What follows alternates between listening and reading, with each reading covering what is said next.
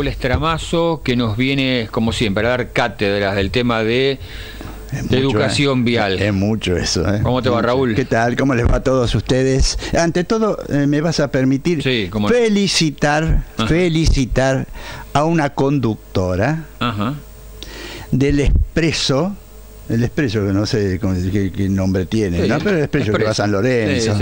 Eh, yo tomé el colectivo, hacía mucho que no tomaba el colectivo, lo tomé en Corriente y Córdoba, el expreso, y me vine hasta acá, hasta Baigorria.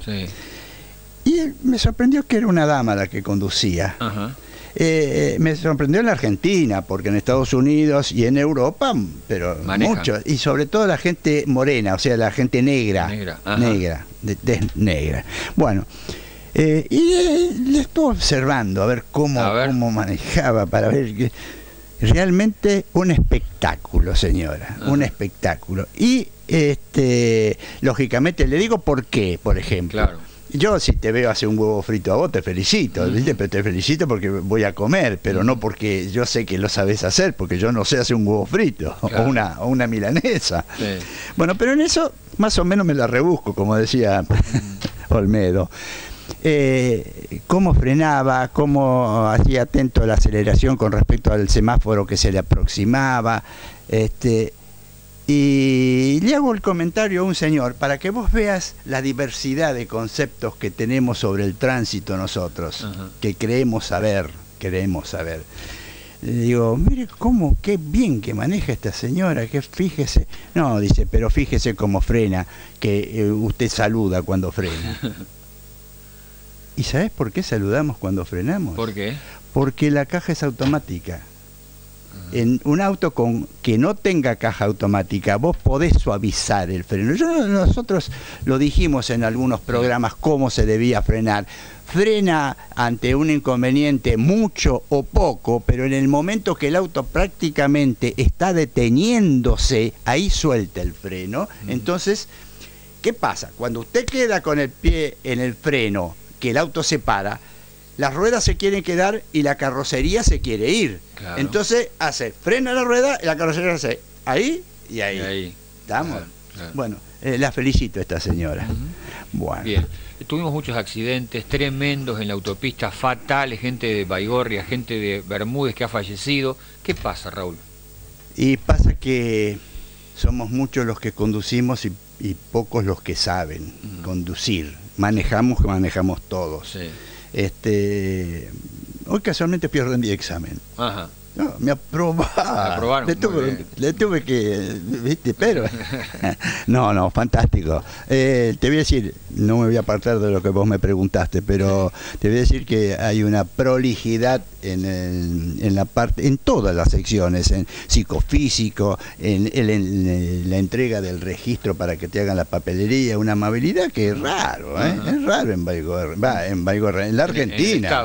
Eh, sí, sí, sí, rápido, bien, fenómeno, salimos con el registro. Le aclaro, le aclaro, porque muchos preguntan si tienen que rendir el teórico, si tienen que rendir el, este, el práctico, eh, los mayores. No, nosotros los viejos ya no rendimos más el teórico y el práctico. Aquel que tiene el carné nacional no lo rinde más porque es lo mismo que un médico que se recibe de médico. Cada vez que va a operar un apendicitis no puede ir a la facultad a rendir.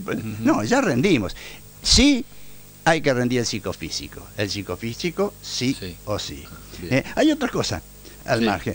El, el, carnet cuesta 800 y pico de pesos por cinco años y yo, por la edad, lo renuevo todos los años. O sea que yo tendría que eh, dividir 800 y pico de pesos por 12. Pero se lo dividido 12, 600 y pico de pesos. No sé. Pero muy bueno eso. Bueno, ¿qué me ibas a preguntar de los accidentes? ¿Qué pasa? ¿Por qué? Porque, Tantos accidentes fatales. Eh, ¿Es la, la, impericia en la conducción? ¿Son las, las autopistas o las carreteras? ¿Es un poco de las dos cosas? Mira, los autos son muy ligeros. Y hay autos que son ligeros y son livianos.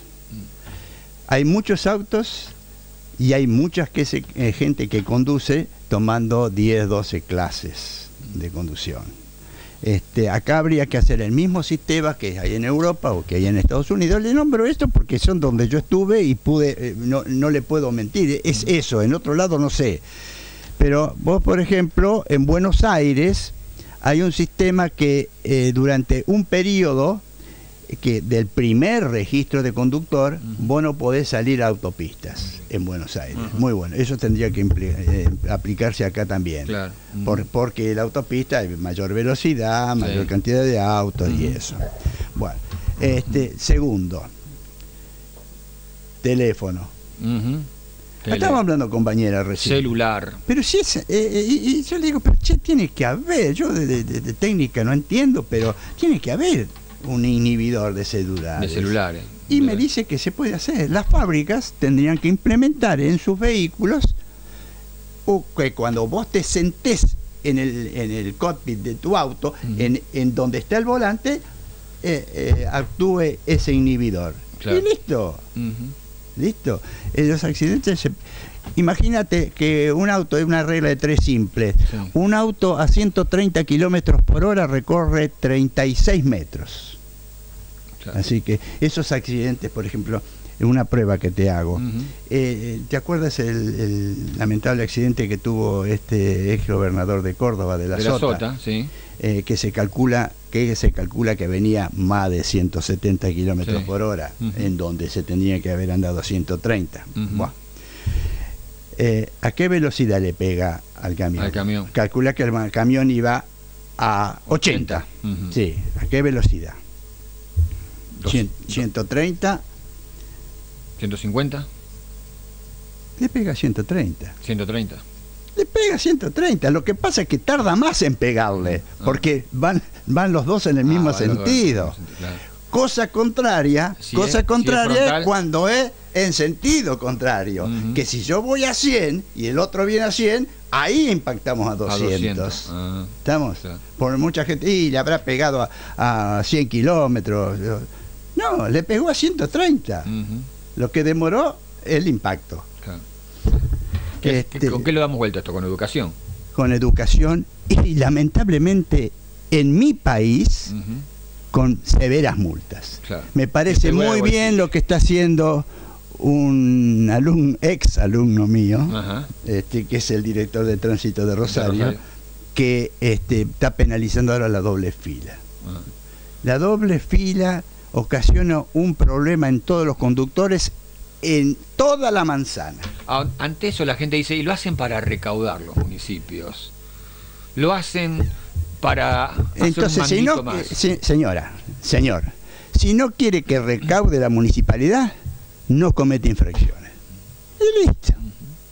A mí no me van a ver contramano, no me van a ver este, yendo, qué sé yo, en la moto sin el casco, por ejemplo.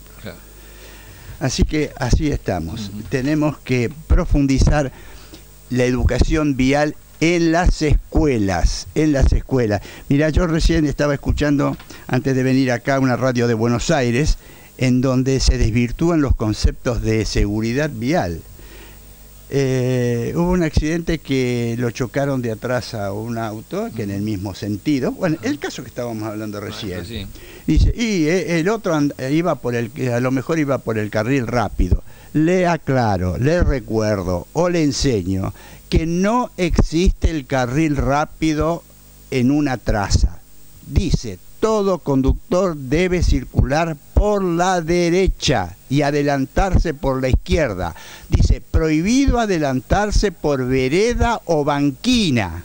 No dice por la izquierda, vereda o banquina. ¿Por qué? y le voy a decir por qué esto es porque si usted tiene que doblar en una traza a la izquierda, tiene que ir aminorando la velocidad.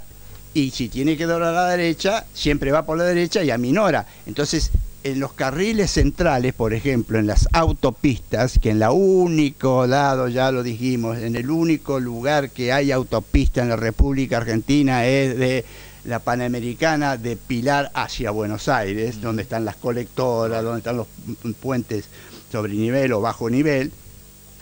Los carriles del centro son los rápidos y está la codificación del kilometraje. pero usted siempre debe circular por la derecha, aunque sea a 200 kilómetros por hora. Como digo yo, le van a hacer un boletón de, película, pero pase por la izquierda a un auto y vuélquese otra vez a la derecha. Y siempre, esto se lo recuerdo, se lo dije la vez pasada, siempre cuando pare en un semáforo deje un carril libre por la duda, por si vengo yo y se me cortan los frenos. Gracias, Raúl. Chau, hasta la próxima. Raúl Estramazo con nosotros dándonos su mensaje muy interesante desde punto de vista de la educación vial en la República Argentina.